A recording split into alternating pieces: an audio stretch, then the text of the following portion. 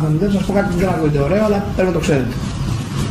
Η Ελλάδα φτιάχτηκε μετά την αμαχία του Ναβαρίνο από την αρχή ως ένα προτεκτοράτο.